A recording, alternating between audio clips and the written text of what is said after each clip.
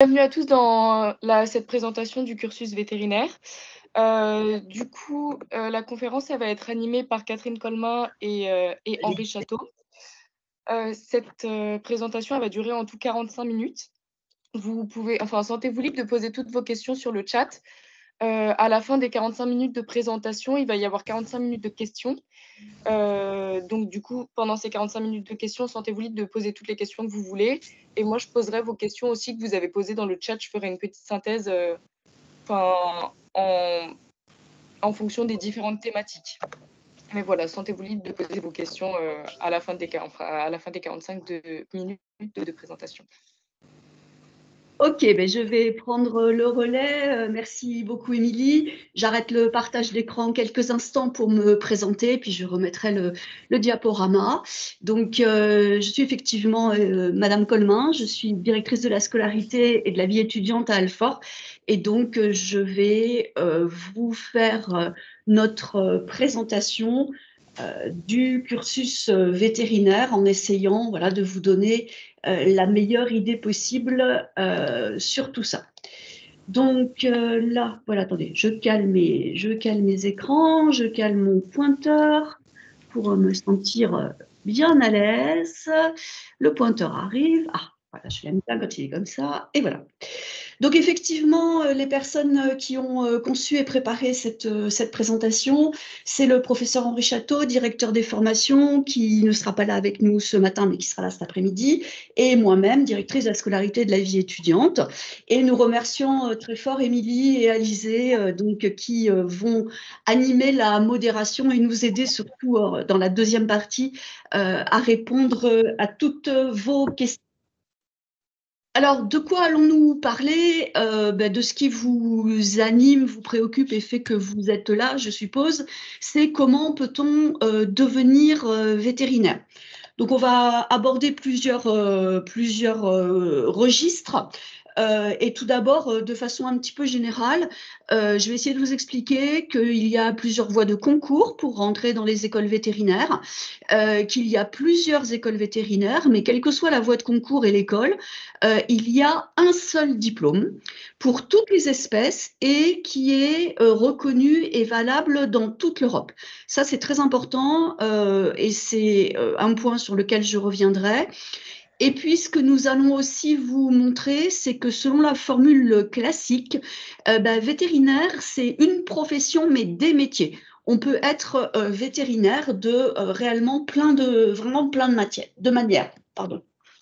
Alors, je m'attarde quelques secondes sur euh, la notion de plusieurs écoles parce que là, euh, vous, vous, vous, nous écoutez, donc euh, nous à Alfort, mais il y a quatre écoles nationales vétérinaires de France, donc pour le dire de manière, de manière un petit peu plus transparente, ce qui se cache sous le mot national, c'est il y a quatre écoles publiques vétérinaires en France et maintenant il y a un cursus privé. Alors, ces quatre écoles, elles travaillent en collaboration euh, le plus possible, puisque je le répète, c'est un seul diplôme, le même diplôme délivré dans toutes les écoles. Euh, et ce qui symbolise un petit peu ce, travail, euh, alors pas quotidien, mais quand même presque hebdomadaire, eh bien, c'est le logo des écoles nationales vétérinaires de France. Alors, sur ce logo, il y a quatre couleurs. Euh, qui sont euh, en fait la reprise euh, des, des, couleurs choisies pour les écoles pour leur charte graphique. Donc ici, en vert, vous avez le campus de Nantes. en rouge en bas, vous avez le campus de Toulouse. en bleu ici, vous avez le campus de Lyon. Et enfin, j'ai envie de dire évidemment, puisque pour moi la photo est très parlante, euh, en mauve, et vous avez déjà compris dès la, dès la première euh, diapositive que c'était euh, notre couleur, en mauve, vous avez ici l'entrée de l'école d'Alfort. donc, certes, plusieurs écoles, donc là, je viens de vous les citer. Il y aura trait aux diplômes, aux compétences, sera commun aux quatre écoles, mais évidemment, chaque école a ses particularités. Et là, je vais prendre quelques instants pour vous parler un petit peu plus et vous présenter plus euh, notre école euh, d'Alpha. Ce que vous avez sur la diapositive, eh bien, c'est ce qu'on appelle euh, l'entrée d'honneur. Euh, alors, vous voyez, école nationale, donc euh, nous avons le, drapeau français. Et cette photo, la grille d'honneur est ouverte et vous apercevez en arrière-plan la statue de Claude Bourgelat que vous allez pouvoir admirer de plus près sur cette diapositive.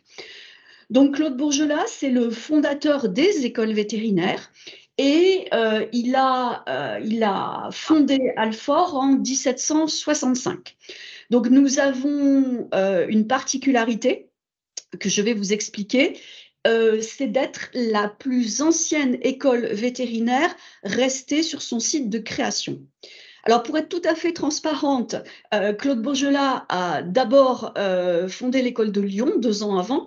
Et donc, euh, en toute amitié, réellement, en toute amitié envers nos amis lyonnais, on a coutume de dire, en plaisantant un peu, que ben, Lyon, c'était une ébauche et que, ou pour ne pas dire un brouillon, ce qui serait trop, trop désagréable. Et, et donc, deux ans après, eh bien, il a choisi un site, alors, parisien, pour, euh, pour euh, bah, tout simplement fonder Alpha.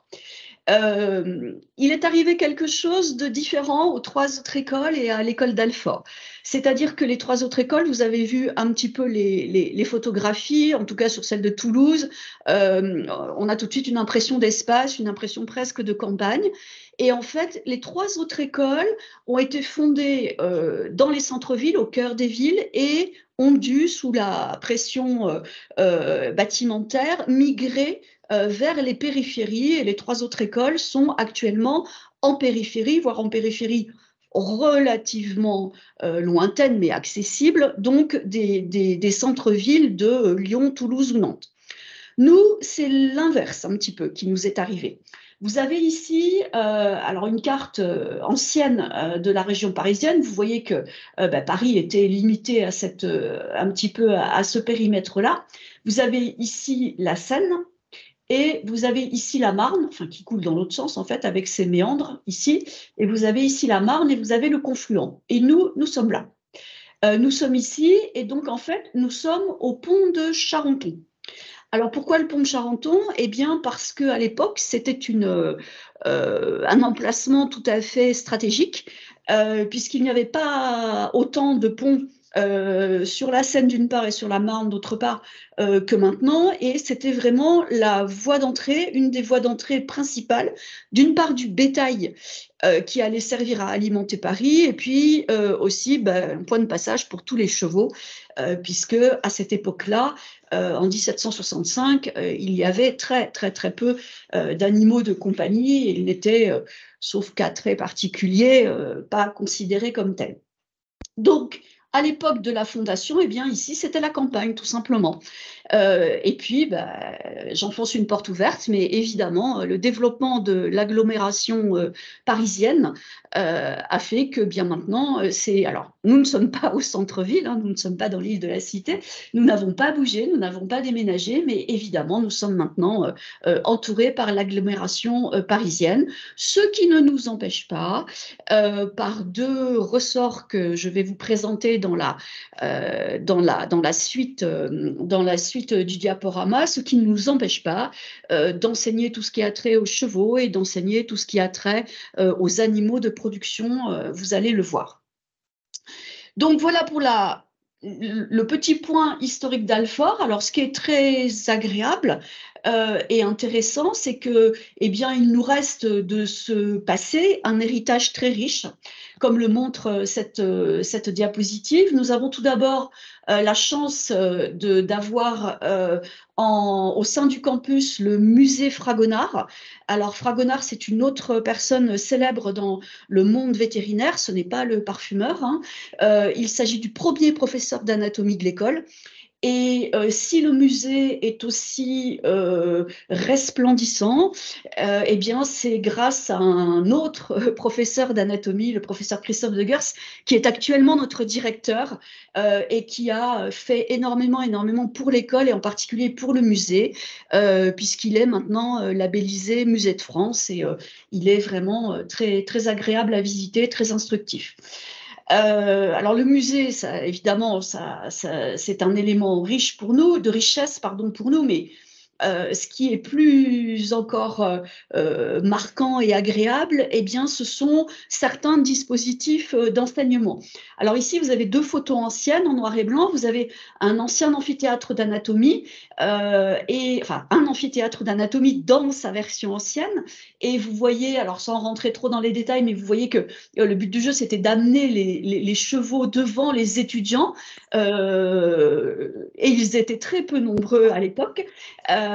Voilà, donc vous allez, cet amphithéâtre d'anatomie, je crois qu'il y a un micro d'ouvert. Si, si, les gens euh, pouvaient fermer leur micro, Émilie, si vous parcourez la liste, vous pourrez euh, fermer ce micro qui nous, voilà, distrait. Merci beaucoup. et donc, du coup, vous avez ici une seconde vue noire et blanche de notre bibliothèque. Et eh bien, voilà un petit peu les vues d'aujourd'hui.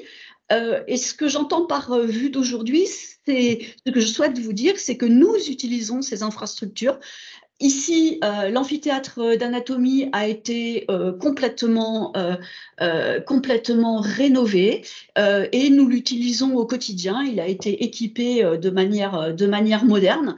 Alors même si les sièges sont certes pas les plus confortables de l'établissement, il est utilisé quotidiennement pour des enseignements. Et puis nos étudiants ont libre accès à la bibliothèque euh, qui aura besoin d'une rénovation, mais qui a gardé euh, beaucoup d'éléments, euh, beaucoup d'éléments, si je me permets de le dire, de splendeur. Donc voilà le lien entre notre héritage et notre, quotidien. Et ce lien, depuis une bonne dizaine d'années, il a été considérablement renforcé. Euh, et vraiment, on peut dire maintenant que notre école euh, allie tradition et modernité. Alors, qu'est-ce que je veux souligner par là? Eh bien, le fait que nous avons, euh, vous voyez, depuis effectivement une, quinzaine une dizaine d'années, pardon, nous avons rénové énormément de bâtiments. avec cette contrainte, alors s'il y a des connaisseurs dans, dans l'auditoire, puisque vous êtes plus de 300, euh, je, vais simplifier, hein, euh, euh, parce que globalement, certains de nos bâtiments ou, notre périmètre ou notre sol sont protégés au sens des monuments de France. Alors, ça se décline en beaucoup, beaucoup plus de subtilité que ça, mais là aussi, pour résumer de manière franche, eh ben, on ne peut pas faire ce qu'on veut, et c'est très bien comme ça, et ça impose des contraintes aux architectes qui, par ailleurs, sont pleins d'idées, donc ils arrivent très bien à gérer ces contraintes. Donc, nous avons commencé euh, en 2015 euh, alors là, par construire un nouveau, euh, bâtiment, le bâtiment Camille Guérin, qui est notre bâtiment qui permet de maintenant travailler en matière d'enseignement, mais aussi en matière d'analyse de laboratoire d'analyse euh, qui permet de travailler euh, dans le plus complet respect des normes actuelles de biosécurité. Donc ça, c'était réellement indispensable et nous n'avons plus aucun souci de ce côté-là. Et c'est dans ce bâtiment que les étudiants trouvent les salles de dissection, les salles d'anatomie, les salles de TP de microbiologie, de TP de parasitologie. Un bâtiment donc encore tout neuf, moins d'une dizaine d'années. La seconde étape euh, a été euh, de rénover la zone NOCAR. Je précise, Camille Guérin, je pense que euh, le nom parlait à l'oreille de tout le monde, mais je précise que la majorité de nos bâtiments portent des noms de, vétérinaires célèbres dans le, dans le domaine vétérinaire. Donc, le bâtiment NOCAR, là, vous le voyez, il allie vraiment des éléments patrimoniaux euh, c'est-à-dire euh, euh, un bâtimentaire un tout petit peu pavillonnaire en briques avec une alternance de blanc, de rouge. Ici, vous voyez une, cheminée alors qui est en fait un vestige de l'époque où euh, nous n'étions pas en ville, entre guillemets, et euh, dans une école vétérinaire, eh même dans une école vétérinaire, les animaux meurent, et à partir de, ce moment-là, il faut les incinérer. Donc, euh, il y avait un incinérateur, d'où cette, cette cheminée qui n'est plus active, mais que nous gardons, nous gardons voilà, comme témoignage de notre passé. Donc, le bâtiment Nocar, lui, accueille tout ce qui concerne les animaux de production et la faune sauvage ici dans, les étages. Et là aussi, une alliance d'un respect des normes de notre temps et du respect des éléments bâtimentaires de notre patrimoine. La dernière étape, euh, qui est, euh, enfin la dernière étape, non, sans doute pas, mais euh, l'étape suivante a eu lieu en 2022. Et donc, depuis 2022 et pour maintenant la deuxième année universitaire, eh bien, nous avons la chance euh, d'avoir ce magnifique euh, bâtiment qui constitue alors le cœur de vie, le cœur de campus.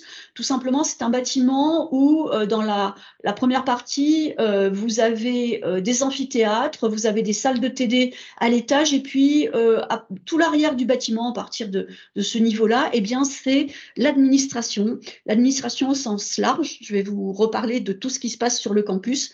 Mais ce bâtiment, il a aussi, même si c'est moins visible sur cette vue, garder des, éléments patrimoniaux. Ici, on a les portes d'entrée de ce qui fut euh, le, comment dirais-je, euh, la salle d'attente des, la salle d'attente des consultations de médecine.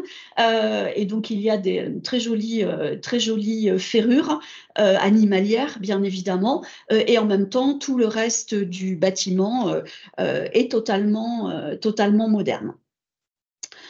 Alors, euh, je vous l'ai dit, euh, cet euh, engloutissement au, sein de, la, ville, on, on, le voit un petit peu sur diverses photos aériennes. Hein, ici, on retrouve la Marne qui va rejoindre la Seine, et ici, on a ce triangle. voilà, ce triangle que je vous délimite, qui est le campus. la vue que je vous ai montrée de l'entrée principale, la statue de Bourgelat est ici. Euh, voilà, euh, le cœur de campus, alors que je ne me trompe pas. Bon, alors on va dire qu'il est dans cette zone-là.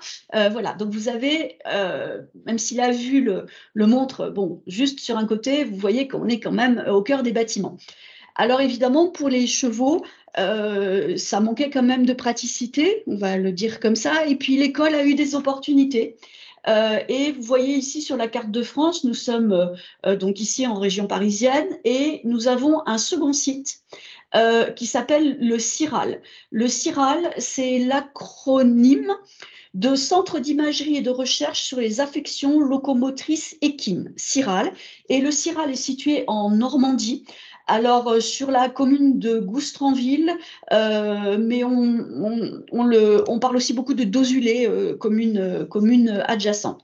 Vous avez ici une première vue du Ciral, vous en aurez d'autres dans le diaporama, qui vous montrent que là, l'espace ne manque pas. et donc, au fil des ans, la partie recherche et enseignement d'approfondissement, c'est quand même nettement déporté sur le Ciral. Et je vous le redirai tout à l'heure, euh, à partir de Noël 2024, donc pas ce Noël, mais le Noël suivant, toute l'activité équine encore présente sur le site d'Alfort déménage complètement au Ciral. Et donc, euh, nos étudiants euh, profiteront encore plus de ces installations normandes.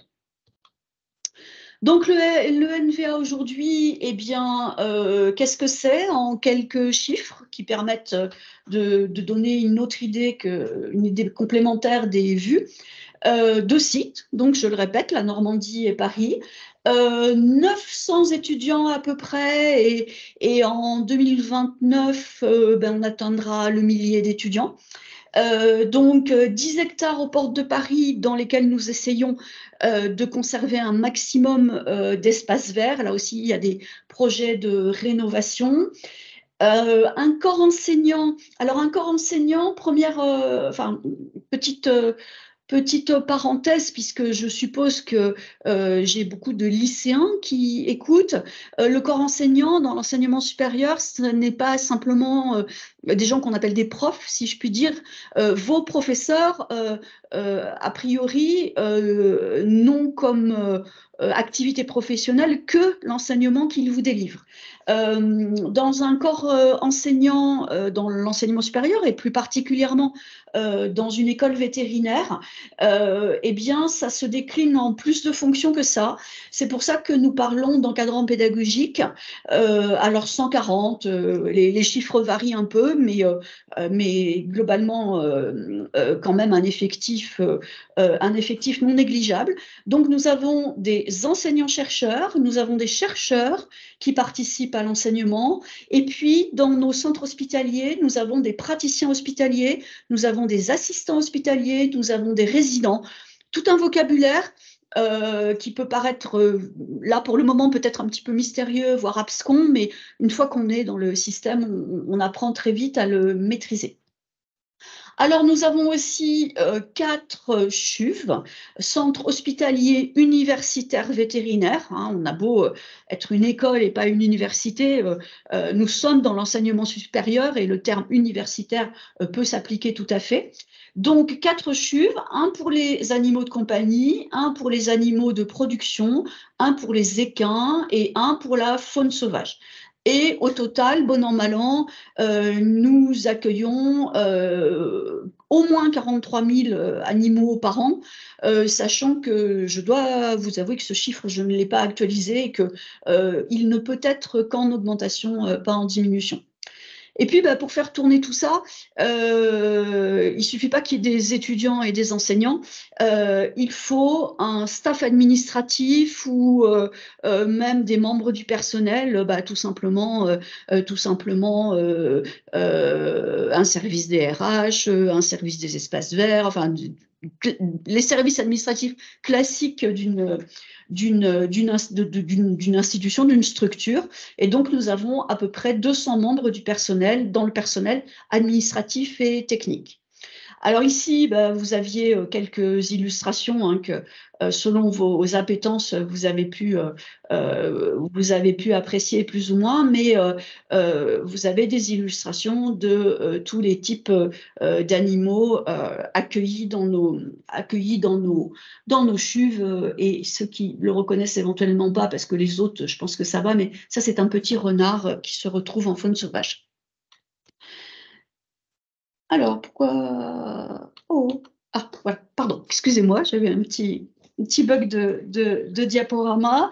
Euh, alors, j'ai cité le mot recherche. Je vous ai dit que vos euh, enseignants étaient des euh, enseignants-chercheurs. Enfin, une partie des encadrants étaient des enseignants-chercheurs. J'ai dit que des chercheurs participaient à l'enseignement. Ça, c'est très, très, très important dans l'enseignement supérieur parce que un vétérinaire est un scientifique et on ne peut pas former des scientifiques si on ne parle pas de recherche.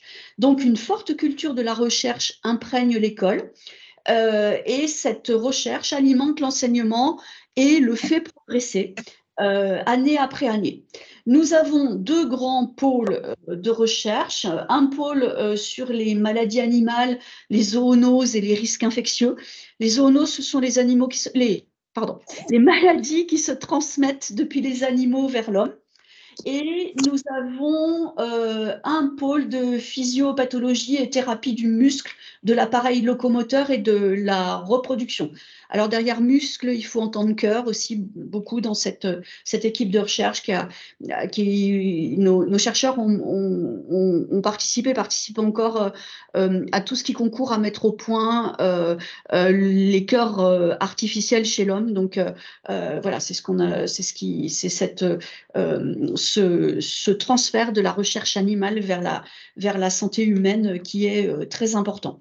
Donc, dans ces deux pôles, nous avons euh, neuf unités de recherche et euh, elles sont tout à fait productives. Alors, Pareil, si vous êtes un petit peu du métier, euh, euh, bah, de l'ordre de près de 200, parce que là aussi le chiffre, euh, il oscille selon les années, mais il ne peut pas être inférieur à celui qui est sur la diapositive, près de 200 publications par an, donc ce n'est pas négligeable. voilà, sachez si, et si vous n'êtes pas du métier, sachez que c'est loin d'être négligeable. Et donc, les, champs d'action, je l'ai un petit peu évoqué. Alors, évidemment, étudier les animaux pour les soigner et contribuer à leur bien-être, ça, ça, va de soi. Euh, et euh, une seconde chose qui parle aussi beaucoup en général euh, aux gens, bah, c'est qu'une partie de, cette recherche, comme je viens de l'évoquer, va améliorer la santé humaine. Par contre, quelque chose qui parle beaucoup moins, sur lequel je vais insister, insister dans la suite du diaporama, c'est qu'une des missions du vétérinaire, c'est de préserver la sécurité alimentaire le fait, euh, en, résumé, c'est le fait que ce que vous mangez euh, ne vous rende pas malade, euh, que ce soit des produits d'origine animale ou pas. Euh, donc voilà, et évidemment, nous avons, vous voyez les logos ici. Alors, euh, toutes mes excuses si par hasard les logos de nos, euh, de nos partenaires ont éventuellement évolué, mais nous travaillons avec l'Institut Pasteur, avec l'INRA et avec l'ANSES, qui est sur notre. Enfin, avec qui nous partageons le campus, et avec l'INSERM, bien évidemment. Alors, j'ai. Ah, encore un micro à couper, s'il vous plaît. Merci beaucoup. Euh, évidemment, euh, là, vous avez eu un panorama de l'endroit où nous sommes et de euh, des différentes entités qui, composent notre école. Mais avant de, avant d'aller, de, vous décortiquer le cursus, si je puis dire, je souhaite vraiment réinsister sur le fait que tout ce que je vais dire après, même si chaque école le décline euh, un petit peu à sa manière, ne serait-ce qu'avec sa couleur de diapositive, mais euh, réellement, c'est le même diplôme euh, qu'on obtient dans les quatre écoles. Il est valable pour toutes les espèces. Je vais y revenir aussi parce que ça veut dire que euh, peut-être parmi, mes auditeurs, il y a des jeunes gens ou des jeunes filles qui se disent euh, Ah ben moi, je veux soigner que les chevaux. Euh, ben, très bien, à la limite, vous pourrez ne soigner que les chevaux. Pas de problème. Mais pendant six ans, vous devez apprendre à soigner toutes les espèces, enfin, un large spectre d'espèces animales. Il faut bien vous mettre ça dans la tête. et votre diplôme sera valable dans toute l'Europe. Donc, vous pourrez, vous pourrez bah, aller venir à votre idée. Voilà, voilà ce que c'est que devenir vétérinaire. Alors, si on regarde un petit peu plus ce schéma, vous avez dû le trouver sur de nombreux sites, le nôtre bien évidemment, les sites des trois autres écoles, même si chacun le, présente un petit peu différemment. C'est une frise chronologique.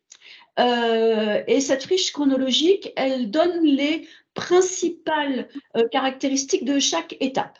La première euh, caractéristique, c'est qu'il y a pour rentrer dans les écoles vétérinaires, dans les quatre, hein, pour rentrer dans les écoles vétérinaires, il y a diverses euh, façons de faire. Donc, depuis maintenant euh, trois ans, nous avons une voie post-bac.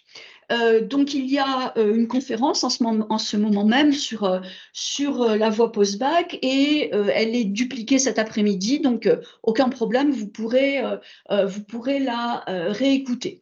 Euh, donc, je ne la détaille pas, hein, puisqu'il y a une heure de conférence là-dessus à, aller entendre cet après-midi.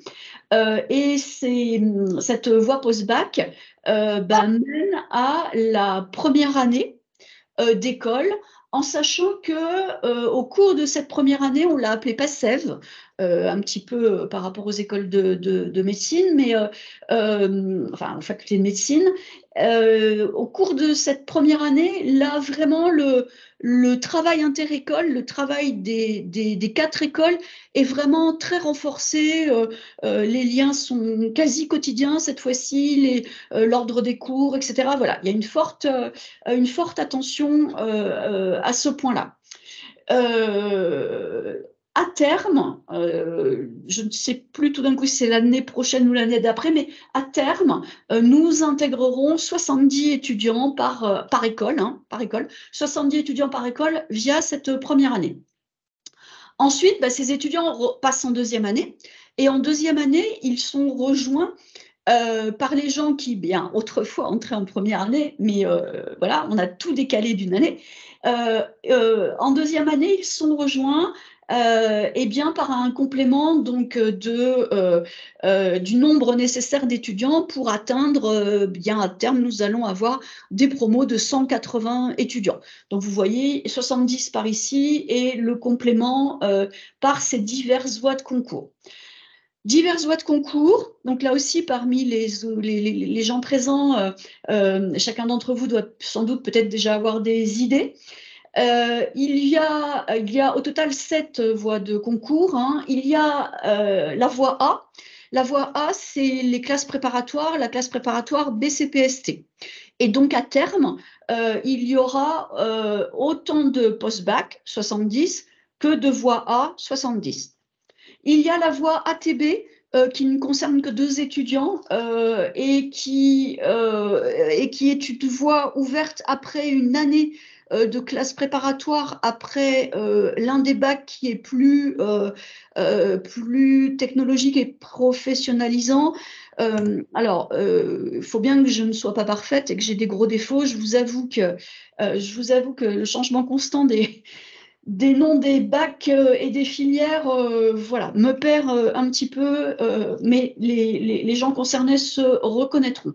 la voie B, ce sont les étudiants qui viennent de l'université, donc des étudiants qui ont fait une licence de biologie au sens large, euh, et qui intègrent en deuxième, enfin qui peuvent passer euh, le concours. Euh, alors là aussi, souvent du changement selon les années en L2, en L3 ou en L2, L3. Bon, voilà. mais donc, nos étudiants qui viennent de l'université. Alors, je vous ai dit 70 par la voie A, 2, 2 par la voie ATB et 17 par la voie B. C, elle a, elle a été profondément rénovée. Euh, elle est toujours, enfin, la réforme n'est pas encore aboutie, je crois. Elle est toujours en pleine réforme, mais globalement, euh, elle est toujours, euh, comment dirais-je, en cours, en train de, en train de, se dérouler. la voie C, ce sont nos étudiants qui vont avoir fait soit un DUT, soit un BTS, dont les BTS A, c'est-à-dire les BTS agricoles. Euh, à terme, nous, non, mais déjà maintenant, et ça va perdurer, euh, nous recrutons 30 étudiants euh, par, ces voies, par cette voie C. Il y a la voie D. Alors la voie D, un étudiant chez nous, je crois qu'il y en a deux dans l'une des autres écoles, et sinon c'est un.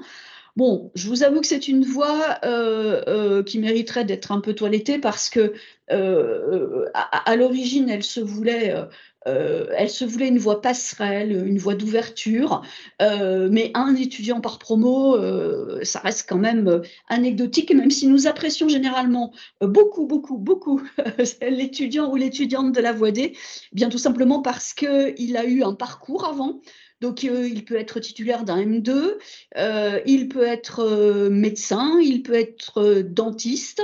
donc, vous voyez, ce sont des, choses, je ne sais plus qui j'oublie, mais il y en a d'autres.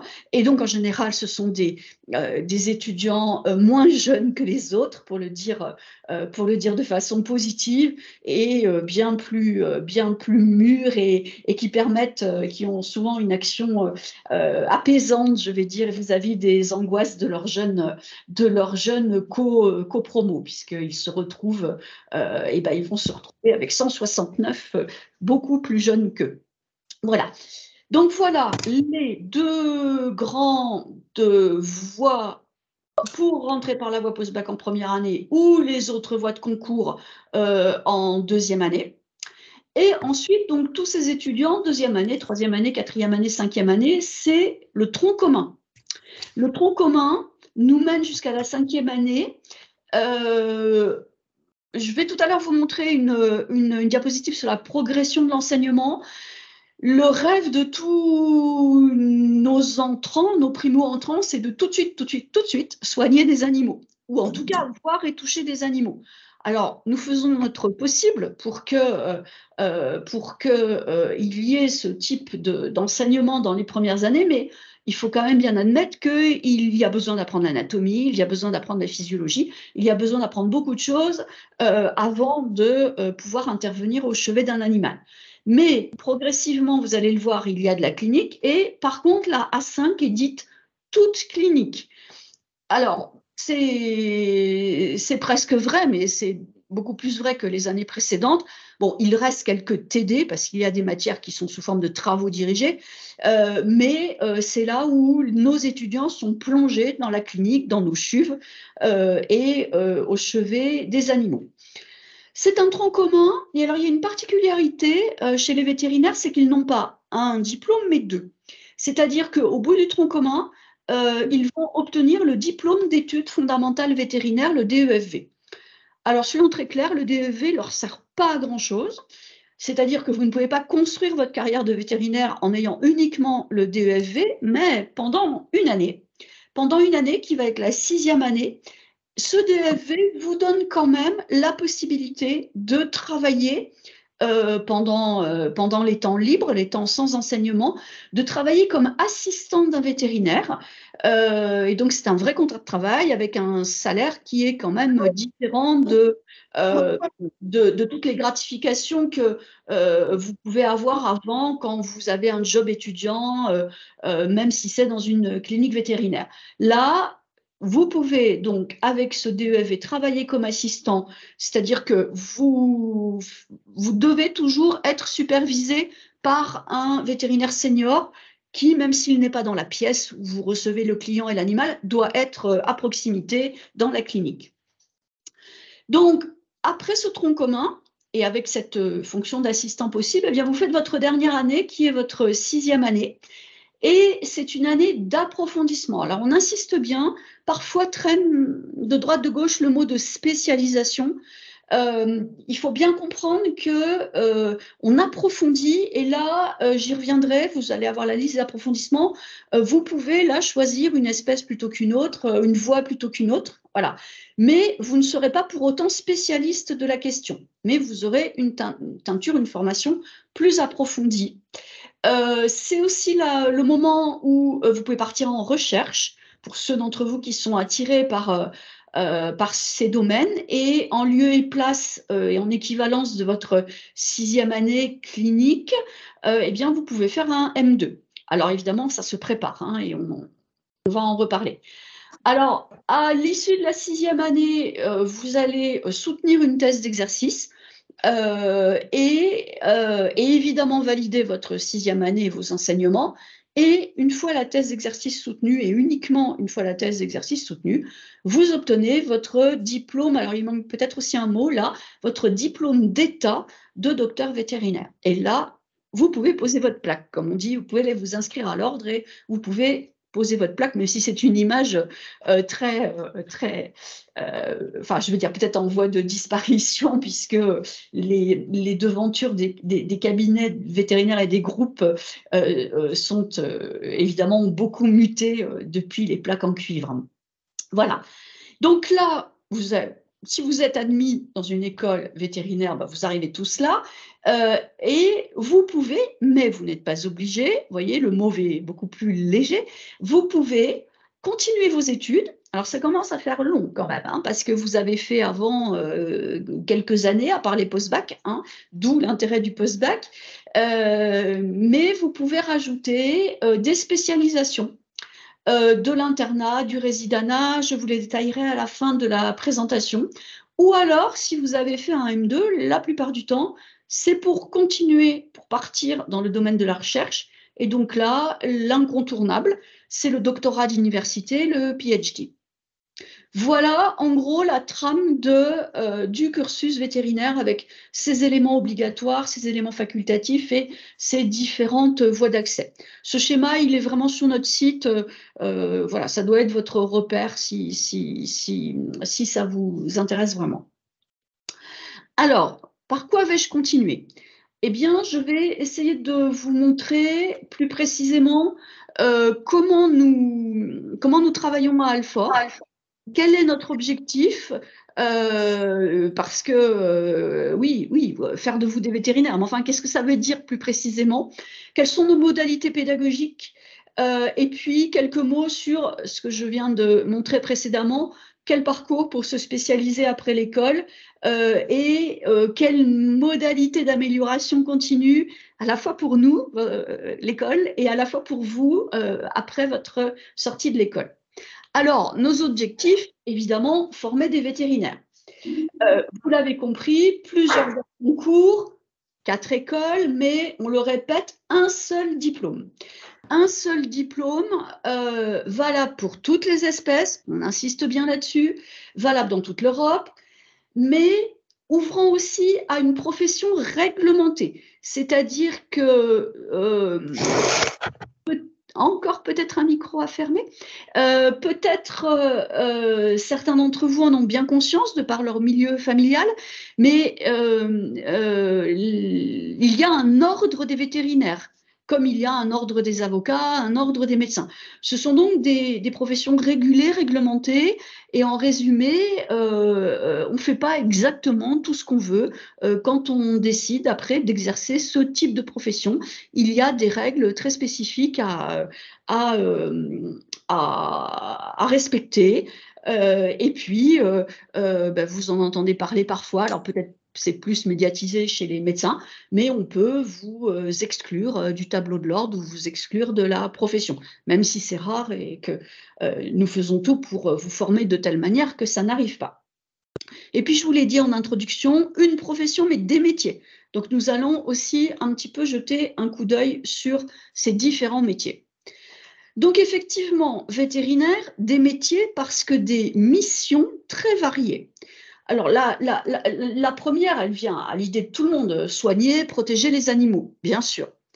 Euh, mais, je l'ai évoqué tout à l'heure, euh, il faut que tout le monde ait bien en tête que euh, nous vivons une époque assez particulière, puisque maintenant, qui pense animaux pense quand même le plus facilement animaux de compagnie, les chiens, les chats et d'autres choses, les chevaux, mais pour le loisir, la course, la compétition.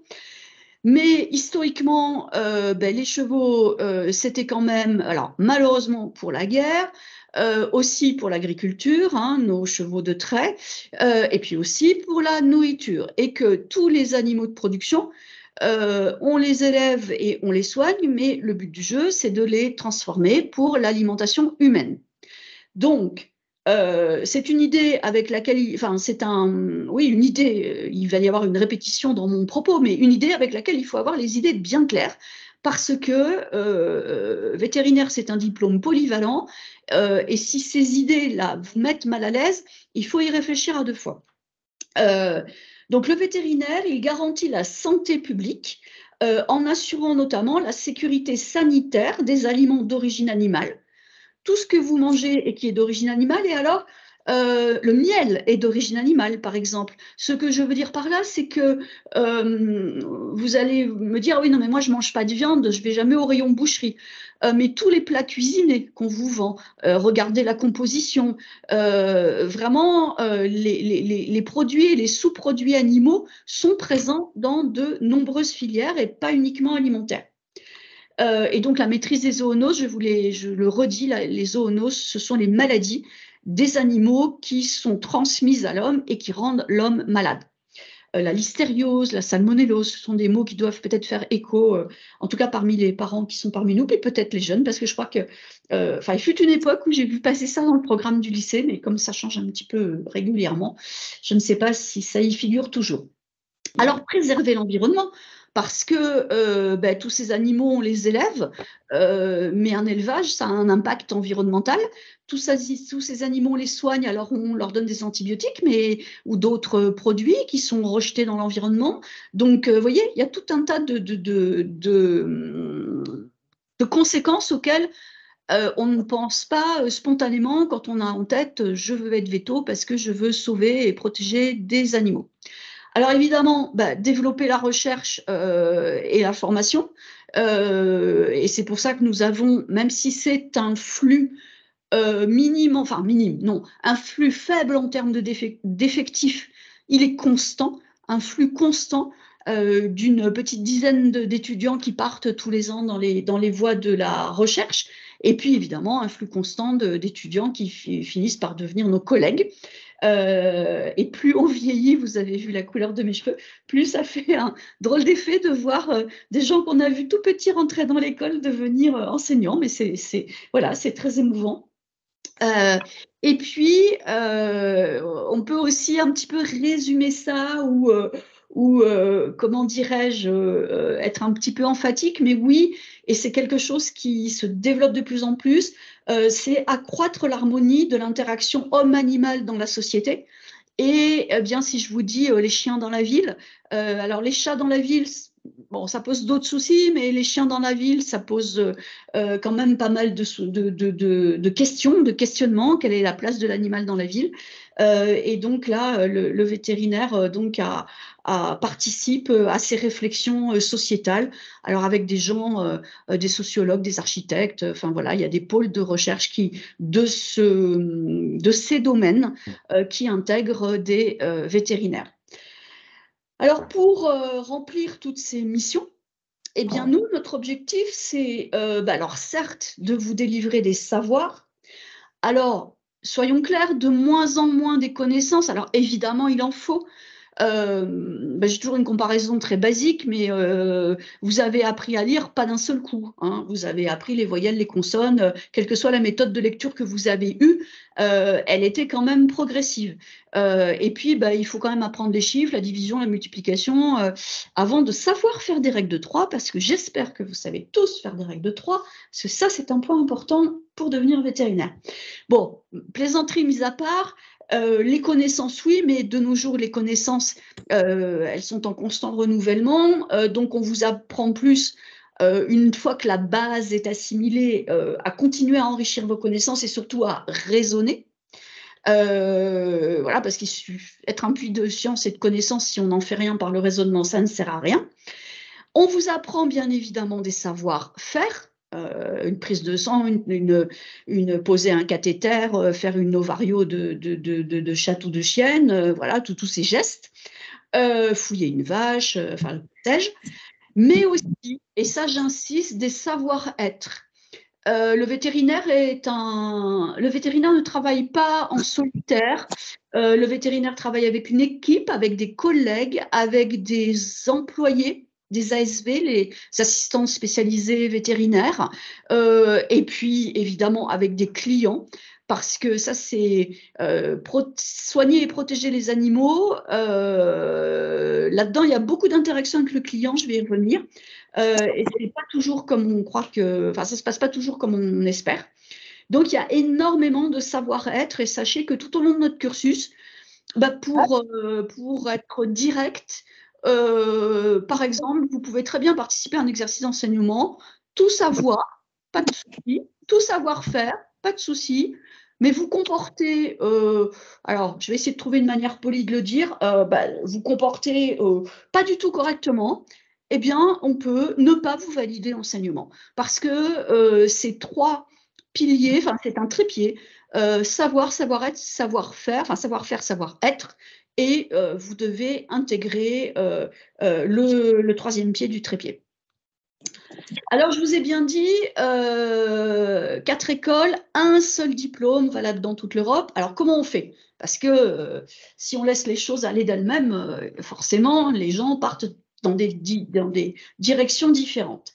Eh bien, nous avons, voilà, nous avons un référentiel d'activité qui est un référentiel d'activité professionnelle et de compétences à l'issue des études vétérinaires. Et ce référentiel d'activité, donc euh, vous voyez ici les animaux de compagnie, les animaux de production, et là, la sécurité sanitaire, c'est quelqu'un qui contrôle des carcasses dans des frigos d'abattoirs. Euh, ce référentiel d'activité, euh, il a été co-construit par les quatre écoles au niveau national euh, il euh, reprend les indications définies au niveau européen, hein, je l'ai dit déjà plusieurs fois, un diplôme européen. Donc il y a une, euh, une, instance qui vérifie tout ça, je vous en reparlerai à la fin. Et donc, nous avons repris les directives du monde européen, du monde vétérinaire au niveau européen pour construire le référentiel qui est commun aux quatre écoles nationales euh, vétérinaires. Et dans ce référentiel, il y a euh, la notion de Day One Skills. Les Day One Skills, ben, ce sont les compétences au premier jour. C'est-à-dire que je ne vais pas rentrer dans le détail très profondément du référentiel, mais il y a tout un tas de colonnes où c'est marqué euh, euh, a déjà fait, a déjà fait, a déjà fait, c'est faire. Hein, c'est faire. À la sortie de l'école, vous devez savoir faire une prise de sang, vous devez savoir poser un cathéter. Euh, vous allez l'apprendre de différentes manières et vous aurez ces compétences qui sont les compétences au premier jour, les D1 skills. Du coup, sans le détailler, parce que c'est un petit, opuscule euh, quand même relativement épais, euh, je vais vous donner l'architecture du référentiel qui va continuer à euh, illustrer une profession des métiers et à élargir votre idée de, de qu'est-ce qu'un vétérinaire. Donc, dans ce référentiel, il y a huit macro-compétences et les quatre euh, premières euh, macro-compétences, enfin, sont, euh, les compétences sont des compétences spécifiques au métier du vétérinaire. il y a eu beaucoup, beaucoup de réflexions et on a trouvé des consensus de présentation, chaque mot ayant été pesé. La première compétence, c'est conseiller et prévenir. Euh, il ne fait pas que soigner, hein, le vétérinaire, il, conseille et il prévient. Selon l'adage bien connu, il vaut mieux prévenir que guérir. Euh, à propos de la santé et du bien-être des animaux et euh, à propos du respect des principes de biosécurité dans tous les autres champs que j'ai déjà évoqués. Conseiller prévenir, alors évidemment après soigner et donc établir un diagnostic, parce que c'est ça que ça veut dire plus précisément. Euh, alors là, ben, il y a toute une démarche qu'il faut apprendre, recueillir l'information, formuler des hypothèses, c'est-à-dire réfléchir, euh, hiérarchiser, ça c'est pas toujours facile, savoir s'il faut faire des examens complémentaires et en fonction de toute, euh, toute cette anamnèse, eh bien, établir une conclusion. vous établissez ce diagnostic en vue de soigner l'animal, certes, mais en fait, cette démarche qu'on vous, apprend à acquérir, elle est tout à fait utile et valable et elle fait la force du vétérinaire dans les autres situations euh, professionnelles. Quand vous expertisez un abattoir ou une cantine scolaire, euh, eh bien, euh, vous allez recueillir les informations, vous allez formuler des hypothèses sur pourquoi ça marche, ça marche pas, vous allez hiérarchiser, euh, vous allez faire peut-être des prélèvements pour confirmer un doute de quelque chose, puis vous allez conclure, exactement comme sur un animal. Ensuite arrive ce qui pour vous est sans doute peut-être le cœur de métier, mais qui n'est jamais que l'une des huit compétences, c'est soigner, traiter. Alors là, par la mise en œuvre de protocoles de soins et de traitements adaptés. Euh, enfin, euh, et au même niveau que les autres, euh, agir pour la santé publique. Donc j'insiste, et le veto, eh bien, c'est la sentinelle et le garant de la santé animale, donc de la sécurité des aliments. Si l'animal n'est pas malade, si l'animal n'est pas porteur, eh bien, quand il va euh, arrivé au stade de, euh, de l'alimentation humaine, eh bien, il ne rendra pas malade le consommateur, le mangeur. Euh, selon le principe, alors là, qui a vraiment plus besoin grâce au pangolin et grâce au Covid, alors je le dis en plaisantant, mais euh, il faut toujours, euh, on dit toujours aussi à quelque chose malheur est bon. Hein. Je pense que le concept euh, d'une seule santé, One Health, a beaucoup progressé dans toutes les couches de la société parce qu'on a bien compris que l'animal et l'humain, qui n'est jamais qu'un animal, dans l'environnement, tout ça est quand même en profonde interaction et que si on ne se préoccupe pas de la santé animale, la santé humaine peut se trouver en danger. Donc là, compétences spécifiques. Il y a aussi des compétences transversales. travailler en entreprise, un vétérinaire, c'est un, avant tout un chef d'entreprise. ou, ou alors, même dans les chaînes maintenant, dans les groupes, eh bien, il travaille comme un, selon des principes d'entreprise. Euh, il doit savoir communiquer, on revient sur le savoir-être, euh, communiquer avec les propriétaires d'animaux, euh, tout le monde, les collaborateurs, je l'ai déjà dit. C'est un scientifique, je le redis, c'est pas juste un puits de savoir ou un technicien, c'est un scientifique qui doit pouvoir s'appuyer sur une analyse critique fondée par les preuves, c'est l'évidence médecine. Euh, et puis, bah, c'est quelqu'un qui a un rôle dans la société et il doit donc agir de manière responsable. Donc, nous, notre objectif, bah, c'est de dispenser des enseignements théoriques, pratiques, cliniques qui vont vous amener à acquérir ces compétences. On vous fournit un contenu pédagogique, de l'aide, un accompagnement, mais, si, vous, allez, je le fais simple, si vous restez la bouche ouverte en baillant euh, à regarder passer les mouches, bah, euh, il ne se passera pas grand-chose. C'est-à-dire que vous devez être proactif euh, dans vos études. Et c'est aussi à vous, et on a des moyens pour ça, pour vous aider, de vous assurer que vous allez bien acquérir toutes les compétences nécessaires. Donc, nous avons une forte proportion de, de, méthodes pédagogiques actives. Nous allons encore la renforcer à partir de la rentrée prochaine. nous souhaitons avoir vraiment plus de TD, de travaux dirigés, de travaux pratiques, de travaux cliniques que de cours magistraux. Euh, nous avons une organisation qui permet le décloisonnement interdisciplinaire. Euh, alors ça, on vous le répète, alors peut-être pas depuis la maternelle, mais euh, au moins depuis le collège, décloisonner, faites le lien entre les disciplines. Nous avons des objectifs d'apprentissage qui ont une vertu de contrat. on, on s'engage à enseigner un certain nombre de choses et vous vous engagez à les apprendre. Et puis, alors, plein de ressources pédagogiques, y compris bien évidemment numériques. Nous avons un système de tutorat c'est-à-dire qu'à votre entrée dans l'école, un professeur est désigné comme votre tuteur et va vous accompagner dans la construction de votre projet professionnel. Et euh, vos enseignements, vos années sont entre guillemets réglementées en termes de, crédit ECTS. Je ne sais pas si tout le monde connaît, mais euh, euh, c'est le comment dire le, moyen de quantifier ce que vaut une UC, trois crédits, deux crédits, sachant que dans une année vous devez valider 60 crédits. Et nous, sur les cinq années de DEFV, nous avons 20 ECTS de crédit de projet personnel, c'est-à-dire que c'est vous qui décidez de ce que vous faites. Mais vous ne décidez pas tout seul, vous décidez avec votre tuteur. Et ça vous permet soit de renforcer un, projet professionnel, soit de le tester et puis tout bêtement de vous apercevoir que oui, les chevaux, vous aimez bien, mais que, euh, quand, il s'agit de les soigner vraiment, euh, euh, bah, c'est pas exactement la même chose que d'être galopette et de faire des compétitions et que bah oui, ça restera votre élément de loisir, mais vous en ferez pas votre métier. Vous voyez, c'est ce genre de choses. vous avez six ans pour vraiment, vraiment vous décider et pour que au moment de, moment de la sortie, bah, vous soyez dans un environnement professionnel qui vous convient. Alors, vous faites des stages, vous faites des formations complémentaires, il y a des actions, il y a tout un tas de façons de valider ces crédits. Euh, et euh, pour les stages, euh, la profession vétérinaire s'est engagée dans un, dans un, alors, une sorte de site de rencontre, pour le dire de façon humoristique, mais voilà, c'est un site qui permet aux vétérinaires de, déposer leurs offres de stage avec tout un tas de spécificités, et vous de, déposer votre profil et de rechercher des matchs avec euh, euh, le stage de vos rêves pour tel et tel objectif. Nous avons aussi euh, développé, alors là je suis vraiment désolée, euh, euh, il va falloir que, notre directrice de la communication nous aide là, parce que on ne trouve jamais le temps de remplacer ces photos, là c'était balbutiant. nous avons développé, et surtout le professeur Château qui n'est pas présent.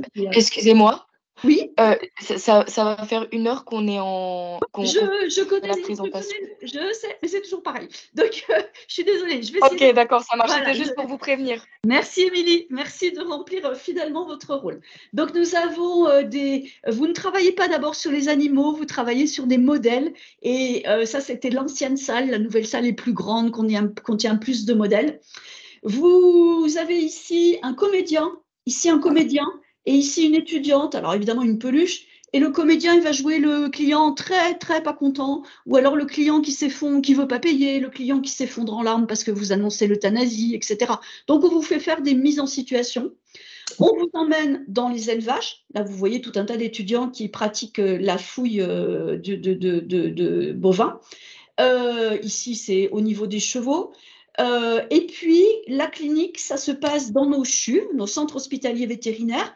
Ici, le CHUV animaux de compagnie avec euh, les salles d'attente des clients et puis la zone de préconsultation où les étudiants, euh, euh, où les étudiants bah, font tout un tas de, de, enfin, réalisent une partie de la consultation. Euh, et donc vraiment, dans toutes les espèces, ici les frigos de, de Ringis euh, dans lesquels on vous emmène, euh, ici des amphiconnectés où on peut vous montrer plein de choses. Dans toutes les espèces, on essaie de développer des outils pédagogiques de pointe. Donc quelques vues, quelques vues du Ciral. Donc là, vous voyez qu'alors, si Alfort est au cœur de la ville, maintenant le Ciral est toujours au cœur de la campagne et ça restera longtemps comme ça.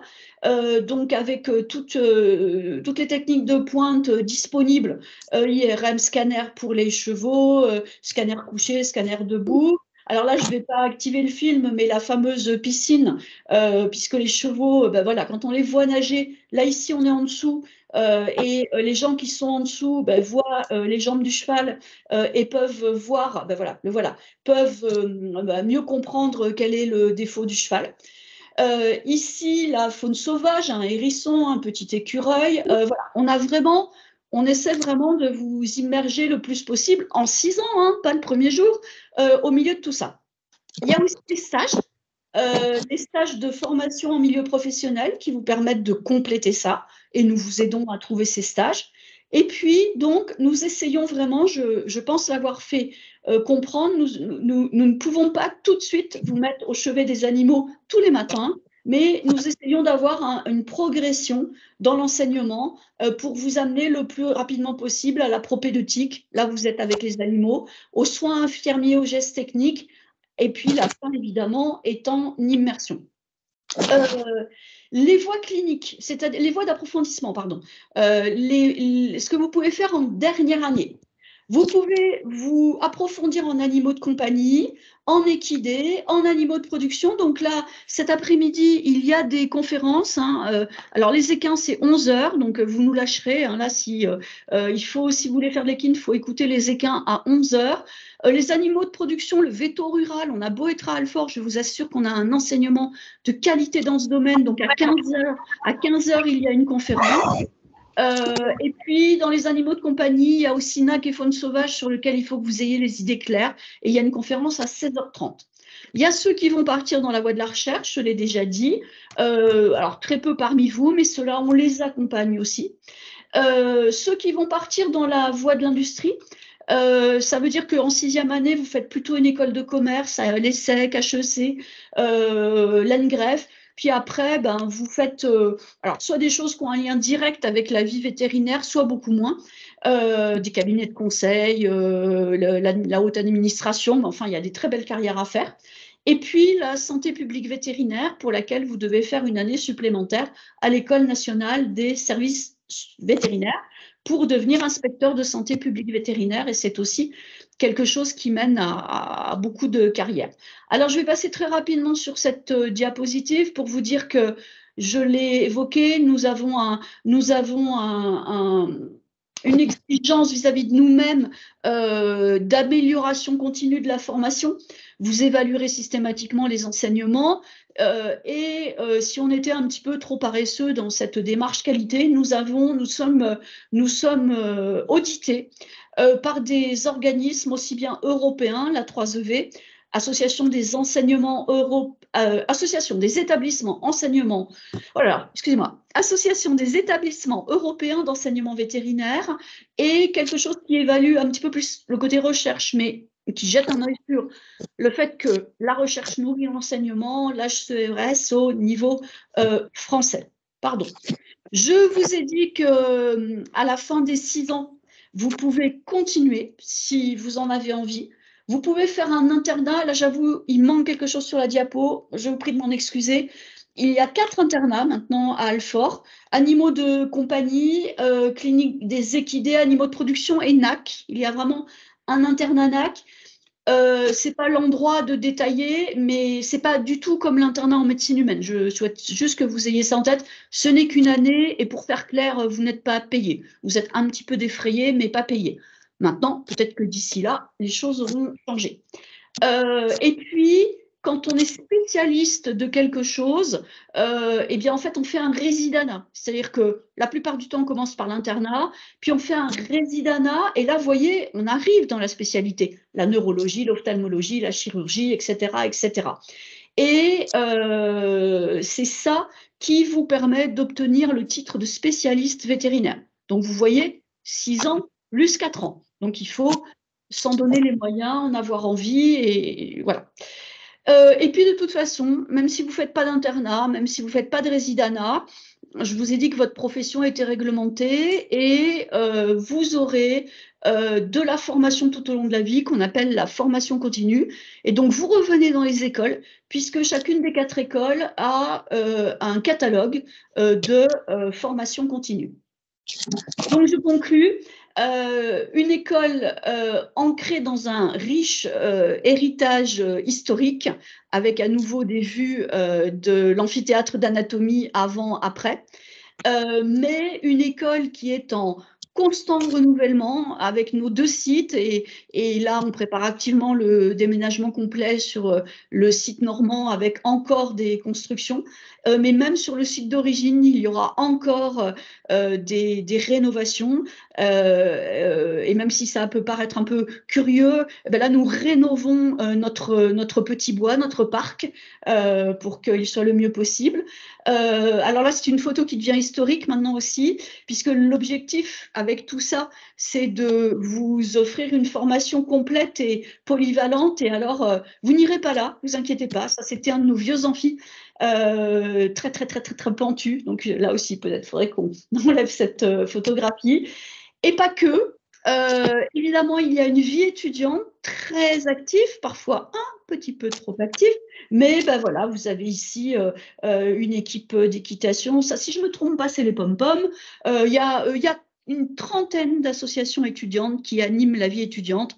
Donc, croyez-moi, il y a de quoi faire aussi euh, en plus des études, si je puis dire. Donc, voilà. Donc, euh, oui, je sais, c'est toujours un tout petit peu trop long. Euh, mais donc, bah, merci de votre attention. Bonne visite virtuelle parce que vous avez des tas de choses sur lesquelles aller cliquer là dans, le, dans ce que notre directrice de la communication a, a mis à votre disposition. Euh, et merci pour euh, à nouveau votre attention. Et je vais quitter la présentation et avec euh, l'aide d'Emilie, je vais tenter de répondre aux questions. Alors, ma caméra est là. Émilie, on, peut, ah, on me voit là hein, Moi, je vous vois. Eh ben, merci beaucoup, Madame Tolmain, pour la présentation. Je vous prie. Et là, du coup, merci à vous parce que vous êtes énormément à avoir posé des questions. Il y a beaucoup, beaucoup de questions. Donc, du coup, ce qui va se passer, c'est que j'ai réparti les différentes questions. J'ai lu toutes les questions et je les ai réparties selon différentes thématiques. Ce que je vais faire, c'est expliciter chaque, enfin, énoncer chaque thématique avant de poser les questions. Et euh, du coup, à la fin d'une thématique, à la fin des questions d'une thématique, n'hésitez pas à poser des questions en rapport avec cette thématique parce que si je ne les ai pas posées, c'est qu'on ne viendra pas dessus euh, d'une manière générale. Je vous dis juste les thématiques. Euh, la première, c'est les choix aura, que vous aurez à faire au lycée. La deuxième thématique, c'est la préparation au concours post-bac. La troisième thématique, c'est les concours donc, dans les autres voies. Ensuite, euh, on va aborder les questions qui concernent l'école, euh, donc l'école d'Alfort, puis le diplôme, donc le diplôme euh, qu'on obtient à l'issue des ENV. Donc du coup, pour la première question, enfin pour la première thématique, choix du lycée. en termes de spécialité, Alors, en terminale, est-ce qu'il vaut mieux garder les spécialités physique, chimie et SVT avec maths complémentaires ou plutôt garder maths et SVT alors, Émilie, les deux premières thématiques hein, qui sont en rapport avec le concours post-bac, euh, je vais me permettre de ne pas y répondre tout simplement parce que ce n'est pas mon cœur de métier, euh, puisque moi, j'ai des étudiants après, qu'il y a souvent des évolutions et que surtout, il y a euh, à nouveau une conférence à 13h. Hein, donc, vraiment, vraiment, alors, premièrement, écoutez la conférence et deuxièmement, je, j'ai envie de vous exhorter parce que souvent, il y a des questions sur lesquelles toutes les réponses sont sur nos sites Internet.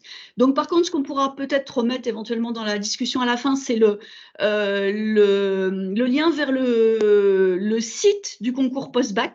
Et croyez-moi, euh, tout est explicité concernant euh, les spécialités. Puis je ne sais plus, l'autre question c'est qu'il y avait sur le concours post-bac, mais tout ça est largement explicité. Jetez un œil sur le site et écoutez cet après-midi. Je vous en remercie. Alors, la deuxième thématique, Émilie, c'était? C'était euh, les concours pour les autres voies. Oui. Et euh, ce qui se passe, enfin, les, les questions concernant notre école et concernant le diplôme obtenu à la fin des études vétérinaires. Les autres voies que je, regarde en même temps un peu, qu'est-ce qui, qui, a été posé le plus souvent ou Il y a eu pas mal de questions sur euh, toutes les réformes concernant les voies B, C, euh, les, voies pour les BTS, les DUT, euh, des questions concernant la prépa agroveto. Il y a eu quand même pas mal de questions concernant les cursus dans les écoles à l'étranger, donc les voies d'admission dans les concours en Belgique, au Canada. tac, tac, tac. Alors, euh, là, aussi, je vais essayer de synthétiser parce que là, on est toujours, vous voyez, je comprends très bien vos questions, bien sûr, et je comprends que vous les ayez, mais là, euh, euh, là, c'est de l'autre côté. Moi, je suis dans l'école et d'une certaine façon, même si je vais essayer de donner des éclairages, d'une certaine façon, moi, je reçois des étudiants qui sont passés par toutes ces voies, mais je ne les organise pas, je ne les décortique pas. bon, l'après, enfin, je ne sais pas ce qu'il peut y avoir comme euh, question, mais euh, euh, ben, la, voie de concours, elle dépend de plein de choses. Hein. Maintenant, il y a, le fameux parcours sub sur lequel vous avez ou vous n'avez pas, vous n'avez pas ce que vous souhaitez.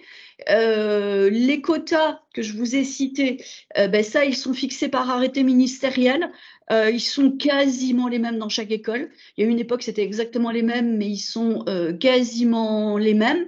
Ce qu'il faut que vous sachiez quand même qui est important, c'est que, euh, parce qu'une chose a changé par rapport à la mise en place du post-bac, vous, pouvez passer le concours post-bac et expliquer, vous vous ne grillez pas de cartouche. C'est-à-dire que, à l'inverse, quand vous essayez toutes les autres voies de concours, vous ne pouvez passer le concours que deux fois. Donc, la prépa BCPST, elle est en deux ans. Vous passez le concours la première, euh, au bout des deux ans. Alors, il y a du jargon hein, en trois demi. On appelle ça les trois demi. Euh, et, si vous n'avez pas le concours, vous pouvez redoubler, vous faites cinq demi et vous pouvez passer une deuxième fois le concours. Et puis, euh, ben, si vous le ratez, vous le ratez je, vais être euh, brutal, mais au moins c'est clair, eh ben, vous ne serez jamais vétérinaire parce que vous avez déjà passé. Ah, vous ne serez, non, il y a une nuance. Vous ne serez jamais vétérinaire par la voie des écoles nationales vétérinaires françaises parce qu'il y a une, une règle qui est que vous ne passez le concours que deux fois. Alors pourquoi cette règle? Eh ben Parce que euh, il y a longtemps, mais enfin il y avait des gens qui le passaient quatre fois, cinq fois, six fois, sept fois, enfin qui voulaient pas comprendre que bah, non, c'était pas pour eux. Donc euh, bon, on a mis fin un petit peu à, quelque chose de triste, si je puis dire. Euh, par contre, vous pouvez passer le concours post-bac et ne pas l'avoir et ensuite passer deux fois votre concours vétérinaire par une autre voie. Donc, la, manière euh, euh, jargonneuse de le dire, parce qu'on parle de deux cartouches, et euh, le post-bac ne grille pas de cartouches, il vous reste vos deux cartouches. Voilà. ensuite, alors, la réforme de la voie C, pareil, elle est un peu. Alors, je, je prends mes notes si ça ne vous embête pas, parce que comme je ne la pratique pas au quotidien, euh, euh, je, ne la, je ne peux pas l'exposer comme ça euh, de but en blanc, mais l'idée a été de... L'idée a été quand même globalement que les gens qui font, enfin qui faisaient un DUT, excusez du, de l'ancien terme que j'ai employé, ils font maintenant un BUT, ils font leur BUT en trois ans, et ils passent le concours et ils, rentrent en école vétérinaire. Tandis que pour les BTS, euh, il y a une autre architecture. Euh, au bout de deux ans, on passe le concours et on arrive dans une classe passerelle. Euh, alors j'espère que c'est bien le nom qui lui a été donné, hein, parce que ça, ce sont peut-être des notes de présentation de l'année dernière ou de l'année d'avant. Mais la classe passerelle, c'est les anciennes classes prépa ATS bio. Euh, et quand vous êtes dans une classe passerelle, euh, vous avez passé le concours, c'est-à-dire que vous êtes sûr qu'à la sortie, enfin, sauf catastrophe catastrophique, hein, vous êtes sûr qu'à la sortie de votre classe passerelle, vous aurez une école vétérinaire. Mais en fait, c'est, sauf erreur de ma part, votre classe, enfin, votre classement, la, la qualité de votre travail dans cette classe passerelle qui déterminera votre classement et qui déterminera donc votre choix. Parce que, quelle que soit la voie de concours, y compris pour les post-bac, c'est votre classement qui détermine votre choix. Alors, Il faut faire candidater sur les quatre écoles, mais les classer par ordre de préférence. Si vous êtes premier au concours, quelle que soit votre voie, ben vous choisissez. Vous avez le choix. Si vous êtes le dernier classé, ben vous prenez ce qui reste. Voilà. Donc, c'est pour ça qu'on a répété plusieurs fois que euh, les quatre écoles euh, se valent, sont identiques en termes de diplômes délivrés.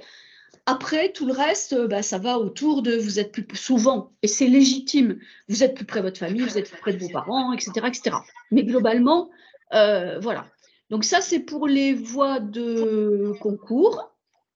Euh, alors après, on peut peut-être passer au, à moins que d'autres questions reviennent plus tard, mais on peut passer, euh, on peut passer euh, à l'école. Là, je vois, je, me permets, Émilie, je vois l'ordre de grandeur du coût des écoles. Alors, oui, moi, ça, c'est un point qui me tient à cœur, hein, parce que souvent, il y, a des, il y a des petits soucis quand même. Donc, les droits de scolarité sont les mêmes dans les quatre écoles. Donc ça, nous, en tout cas, dans notre site internet, euh, sur la préparation de la rentrée de ça, on a vraiment bien expliqué ça.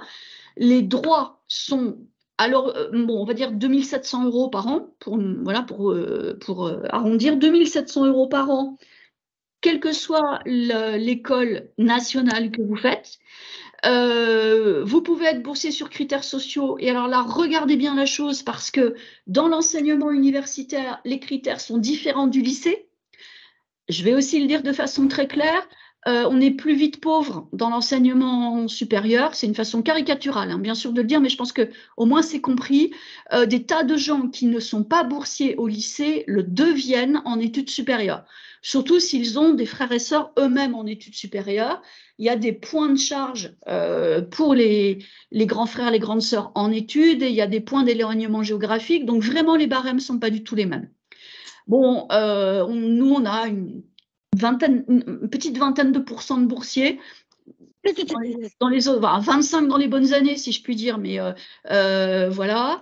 Euh, donc on a des boursiers, il n'y a pas de souci. Mais c'est vrai que il n'y a pas que les coûts de les coûts d'inscription. Ben, il y aura les stages, se déplacer pour aller en stage et puis pour pas être bridé par par ça. voilà, il faut quand même prévoir un budget supplémentaire. Il y a le logement. Euh, à Alfort, nous avons 492 euh, chambres. Quand je dis ça, c'est qu'on n'en a pas 493. Donc, euh, et quand on n'a plus de chambres, on ne peut pas loger les gens. C'est très détaillé sur notre site internet, dans formation, dans rentrée, dans logement. on attribue au quotient familial. mais c'est vrai que ben voilà, le logement, c'est important. Enfin voilà, beaucoup, beaucoup euh, d'étudiants euh, rechignent à l'idée du prêt. Je, le comprends, mais je voudrais quand même euh, dire qu'on n'est pas en Amérique encore et que un vétérinaire au chômage, ça, je ne connais pas. et que sur le vraiment vous, avez de l'or dans les mains parce que vous, vous sauf à ce que vous ayez euh, euh, des exigences très particulières, euh, vous voulez être sur la croisette entre le numéro 25 et le numéro 120, bon, bah là, évidemment, vous ne trouverez pas forcément chaussures à votre pied. Mais, mais vraiment, vous aurez du boulot. alors, je ne vous dis pas non plus d'aller emprunter 500 000 euros, mais réfléchissez à votre budget. Il y a des prêts étudiants très peu, à des taux intéressants. Nous avons une amicale des anciens enfin une, association des anciens qui fait des prêts d'honneur. Un prêt d'honneur, c'est quelque chose que vous ne remboursez que quand vous commencez à travailler. Enfin, il y a vraiment euh, de quoi aider au financement.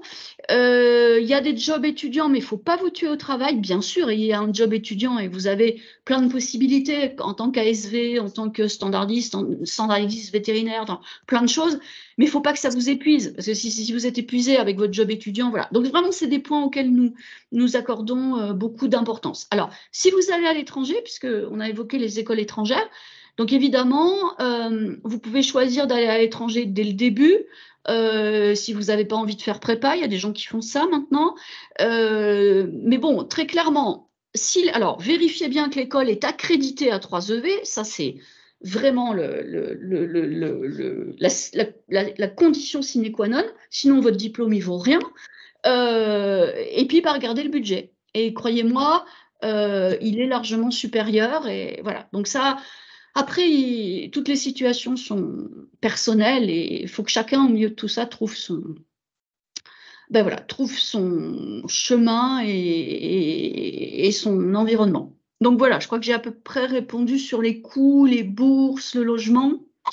Alors, euh, ouais. Du coup, il reste 10 minutes.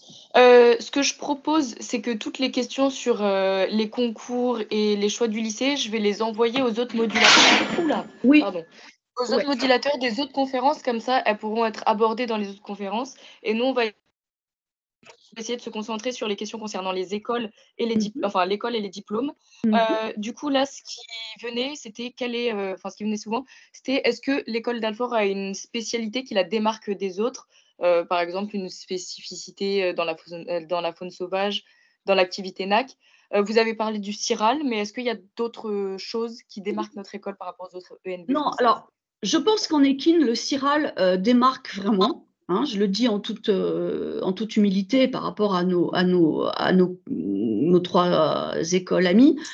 Euh, sinon, sinon, alors, comment dire ça Ce qui peut nous démarquer, c'est la forte activité de notre centre hospitalier vétérinaire animaux de compagnie.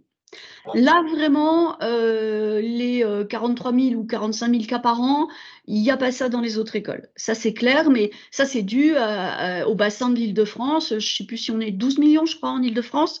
Donc, euh, ben voilà, on a un bassin de clientèle avec des, transports en commun qui sont ce qu'ils sont, mais qui fonctionnent de temps en temps.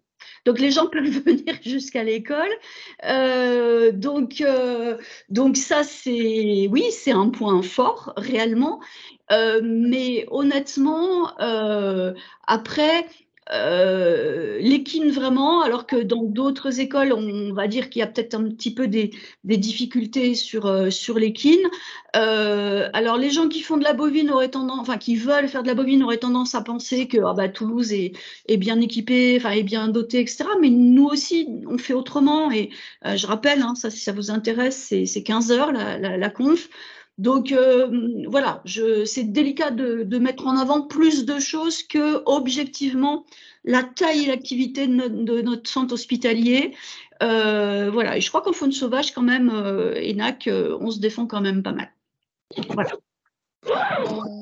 ensuite, il y avait une question sur les voies de spécialisation. Est-ce que l'école propose des voies de spécialisation ou est-ce qu'il faut aller dans d'autres institutions, cliniques ou hôpitaux pour se spécialiser?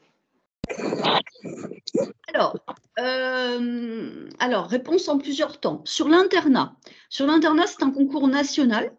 Donc, vous voulez faire un internat en animaux de compagnie ou en équine, vous passez le concours national. Et là, rebelote, votre classement vous permet de choisir votre école. Donc, nous proposons euh, donc maintenant quatre internats, sachant que l'internat NAC, pour le moment, n'existe qu'à Alfort et Nantes. Euh, alors, tout simplement, je pense parce qu'effectivement, il n'y a pas assez de cas de NAC euh, pour euh, que Toulouse et Lyon développent un internat. Voilà. donc là, bah, vous pouvez rester dans votre école, si je puis dire. Ensuite, les spécialisations. Alors, la voie, royale de la spécialisation, ensuite, c'est le résidanat, c'est-à-dire passer ce qu'on appelle un board européen. Donc là, oui, vous aurez à voyager un petit peu, mais il va falloir que vous trouviez un, mentor pour vous guider, un, directeur de résidanat et ça, euh, nous, dans notre euh, centre hospitalier en vétérinaire, dans chaque spécialité, en médecine, en chirurgie, en neurologie, en ophtalmologie, etc., etc., les enseignants, l'équipe accueille un ou plusieurs résidents. Donc, ce résident, pendant trois ans, son port d'attache, ça va être Alfort mais il aura des stages à faire, euh, euh, alors non pas dans les trois autres écoles, mais euh, dans des établissements anglais, suisses, belges, américains, que sais-je, parce que voilà. Donc là, oui, il faudra. alors, c'est la réponse, elle est non seulement en plusieurs temps, mais aussi en plusieurs scénarios. Si vous avez envie de bouger pour votre internat, pour votre résidana, vous pouvez. Si vous avez envie de rester à Alfort et que votre classement le permet, vous resterez à Alfort pour l'internat. Et pour le résidana, même si vous restez à Alfort, il y aura quand même du mouvement pour, euh, sur les trois ans, euh, compléter euh, un certain nombre de choses. Voilà. Euh, ensuite, pour les spécialités, toujours euh, dans le même thème, est-ce qu'il y a des quotas à respecter ou pas? C'est-à-dire que euh, Ah, ah, est-ce qu'il y a un nombre de limité en compris. spécialisation canine et tout? Et est-ce que c'est possible de spécialiser en éthologie et en phytothérapie? Alors, déjà, on enlève le mot spécialité, parce que si on parle de la sixième année, je, le répète, hein, c'est mon rôle. Euh, Émilie, vous avez F. Et donc, euh, parce que c'est pas grave du tout. Mais au moins, vous, le saurez.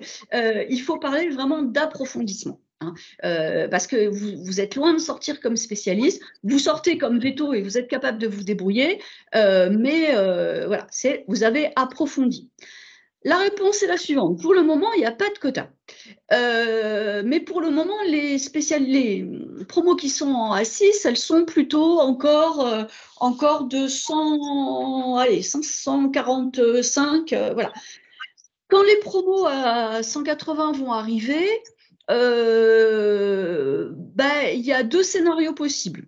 Il y a notre scénario préféré, parce que c'est quand même un petit peu, euh, enfin, en tout cas, personnellement, le scénario que je défendrais et que je défends déjà, euh, je me vois pas dire à quelqu'un qui veut vraiment faire équine, ah, désolé, il n'y a plus de place, euh, euh, ou alors vous n'avez pas eu une note assez bonne, et ben du coup, vous allez en canine. Enfin, je trouve ça quand même un peu, voilà. Mais donc, le, le, le scénario A qu'on espère continuer à pouvoir développer, c'est que il y a effectivement des quotas, mais en fait, année après année, et moi, ça fait 15 ans maintenant presque que je suis ça, euh, les promos se répartissent quand même globalement toujours de la même manière. La majorité va en canine, euh, un nombre, euh, et puis un nombre à peu près égal, on va dire, selon les années, va en équine et en bovine, et on est dimensionné pour les accueillir. Là, ça va.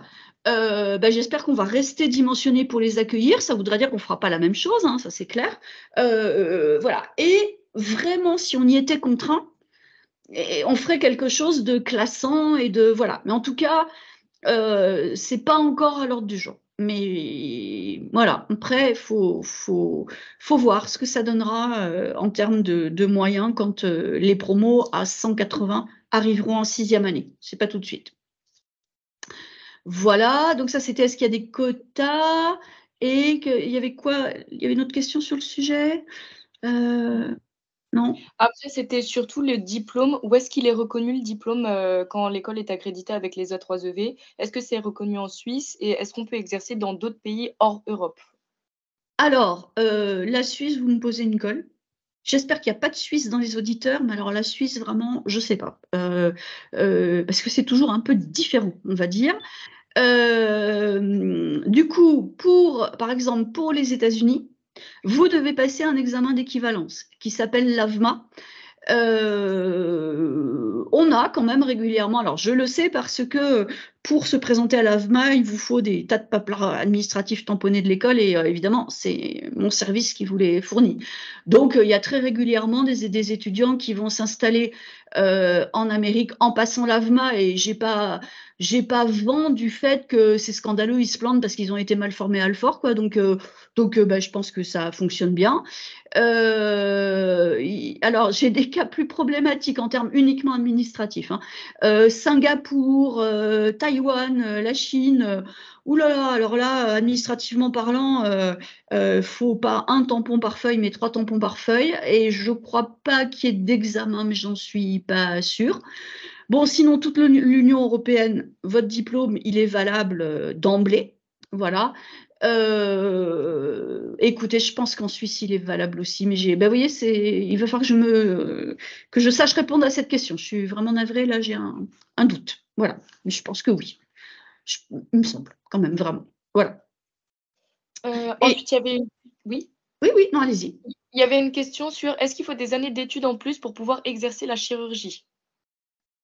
Alors, c'est que la chirurgie, c'est vaste. Vague. Enfin, euh, va, alors, vague, c'est péjoratif un petit peu, mais oui, pardon. Vaste. Non, non, non, pas de souci, Émilie, mais c'est surtout vaste. C'est-à-dire que quand vous sortez de l'école, euh, ben, vous savez faire une ovario de chat, une ovario de chienne, qui est déjà plus de la chirurgie. Euh, vous savez, euh, alors après, vous savez effectuer un certain nombre d'opérations. Maintenant, après, vous pouvez vous spécialiser en chirurgie. Il y a toute la chirurgie orthopédique, par exemple, euh, chez les animaux de compagnie, chez les NAC, euh, qui est un peu plus fine, un peu plus pointue. Donc là, euh, d'emblée, oui, il vaut mieux s'être spécialisé. en bovine, quand vous sortez, vous savez faire alors ce qu'on appelle les veaux à gros nombril, les veaux qui ont le nombril proéminent qui ressort et qu'il faut absolument opérer. vous savez poser une attelle. enfin, vous savez faire un certain nombre d'opérations. Si on peut appeler ça une opération, ça dépend des. des heureusement, il n'y a pas de chirurgien qui écoute, hein, j'espère. Hein, mais vous savez faire une césarienne, euh, vous, enfin, vous en avez pas fait 30, vous en avez pas fait 50, et vous serez beaucoup plus à l'aise. Toutes les opérations que je viens de citer, vous serez beaucoup plus à l'aise euh, un an ou deux ans après, quand vous en aurez fait 50 par an. mais en sortant de l'école, vous savez faire ces choses-là. Euh, par contre, je répète, les, choses de chirurgie beaucoup plus pointues, ben non, là, il faut, euh, il faut vous spécialiser. Voilà. Autre question? Euh, Alors, attendez, on va aller tout, je vais aller tout au bout de la discussion pour voir. Oui, alors il y a quelqu'un qui pose des questions sur la mobilité internationale. C'est vrai qu'on ne l'a pas mis dans le diaporama.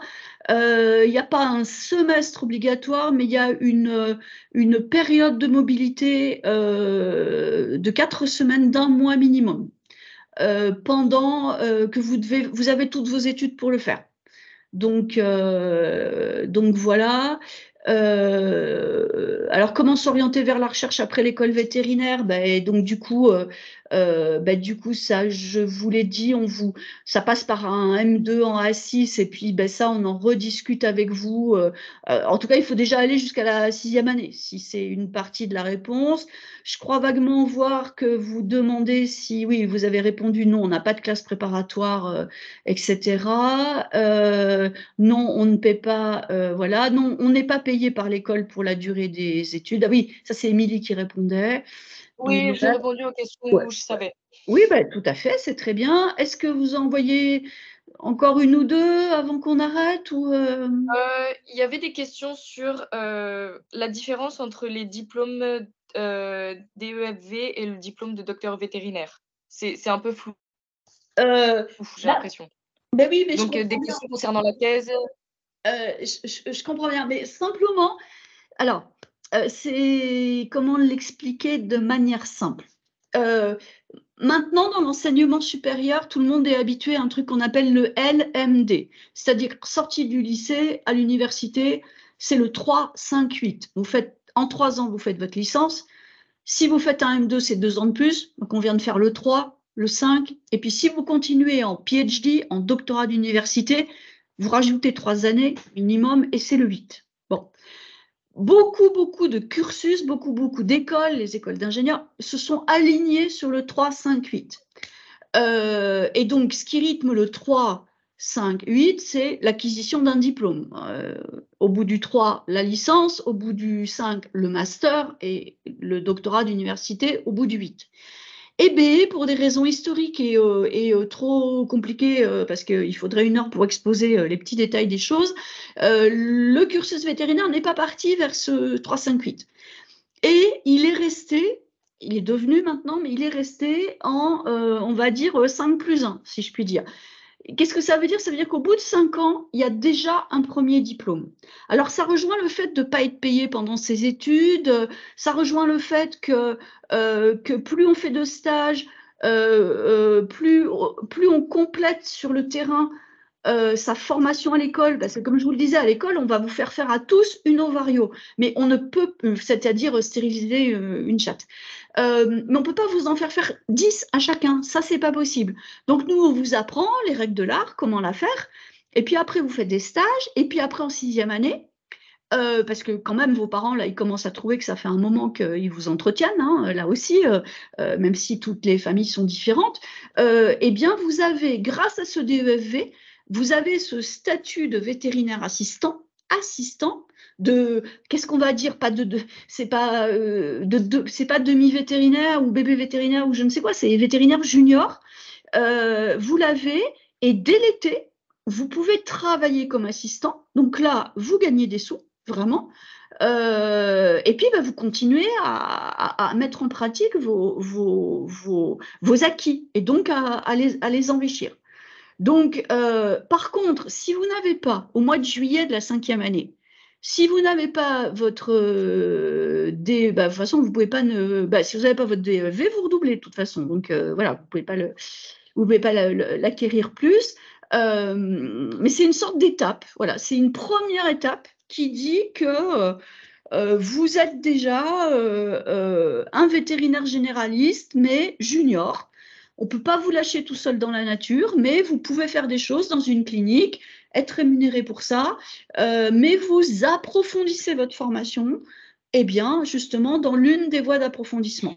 Et donc, pour devenir un vétérinaire complet, autonome, en marche vers le vétérinaire senior, vous avez la sixième année, dans lequel vous avez deux grands éléments. Vous devez valider, vous, poursuivez vos enseignements cliniques, vous avez des examens et vous devez les valider. Et puis, vous avez, comme les médecins, comme les pharmaciens, comme les dentistes, vous avez ce qu'on appelle une thèse d'exercice. Alors, pour euh, pareil, pour vous faire mieux comprendre, c'est que les ingénieurs, ils ont un rapport de fin d'études, un truc comme ça. Donc, vous avez un travail scientifique euh, ou bibliographique, mais à conduire en autonomie, à soutenir devant un jury. Et quand vous avez validé les deux, votre thèse d'exercice et votre sixième année d'enseignement, là, vous avez le diplôme d'État de docteur vétérinaire délivré par l'État et vogue la galère, vous pouvez commencer votre, votre, votre, votre profession et votre cursus professionnel. Voilà, j'espère que c'est plus clair. Et en tout cas, Croyez-moi, on vous le réexplique quand vous êtes euh, à l'école. Euh, j'ai une question juste encore que j'ai sous les yeux. Le diplôme ne nous permet pas de partir bosser à l'étranger, sauf celui de Lyon le permet pour les US et le Canada. Non, non, non, non, non, non, non, non. Lyon, certes, a une accréditation de plus que nous. L'accréditation AVMA. Bon, c'est leur choix. Euh, personne ne dit qu'ils la conserveront ad vitam aeternam et l'accréditation AVMA de Lyon ne vous permet pas de directement partir bosser aux USA ou au Canada. Elle vous donne des points en plus et des bonus pour passer leur examen qui s'appelle le NAVLE. Euh, on vous fait cadeau de ou deux matières où on vous donne des points en plus pour le NAVLE, mais vous devez aussi passer le NAVLE si vous avez, euh, si vous sortez de l'école de Lyon. Voilà. Ça c'est parce que je sais que c'est une idée un peu euh, un peu, un peu répandu. Euh, oui, les boursiers sont exonérés des droits de scolarité. Euh, euh, alors, pour les jobs étudiants, si on est mineur, bon, ça c'est des questions bien spécifiques. De toute façon, on vous, on vous, on vous, on vous informe beaucoup hein, à partir du moment où vous entrez dans l'école. Émilie, voyez-vous, parce que là il est 11h06, voyez-vous des, des questions euh, importantes auxquelles euh, on n'aurait pas répondu euh, D'autres questions sur l'école et les diplômes. J'en vois pas d'autres qui se, qui se dessinent auxquelles vous n'ayez pas répondu. après, il y a quand même pas mal de questions sur les, différents, les différentes voies de concours, les différentes voies d'admission et les choix du lycée. Mais ça, comme je vous l'ai dit, j'enverrai la liste de questions au, au modulateur des autres conférences. Ah oui, il y a des personnes qui n'ont pas compris aussi le terme de crédit. Ah, oui, bah, alors, euh, en quelques mots, hein, euh, et puis on, pourra peut-être euh, s'arrêter là-dessus. En quelques mots, en quelques mots, ce sont les ECTS. Les ECTS alors, avec mon accent bourguignon, comme dit le directeur, Euron, alors attendez, attendez, parce qu'à force, vous savez, je ne sais plus, il faut que je l'écrive. les ECTS, ce sont les crédits de transfert au niveau du système européen. European Credit Transfer System. L'idée, alors, ça va pas nous rajeunir. Euh, c'est le processus de Bologne. Le processus de Bologne a commencé en 1992. Euh, c'était ce qu'on a appelé l'uniformisation du euh, de l'enseignement supérieur en Europe. C'est l'Europe en marche. D'où le LMD. Il fallait que dans tous les pays européens, tous les cursus soient en 358 LMD, licence, master, doctorat, pour que les étudiants puissent voyager et pour que les étudiants puissent euh, faire leur L1 à Rome, leur L2, euh, leur L2 euh, à Thessalonique et leur L3 à Berlin et faire leur master à Paris. Évidemment, c'est caricatural. et ce système, bah, il nécessitait qu'on puisse situer l'étudiant dans ce qu'il avait fait dans son université de départ et celle d'arrivée. Donc on a, euh, inventé une unité de mesure.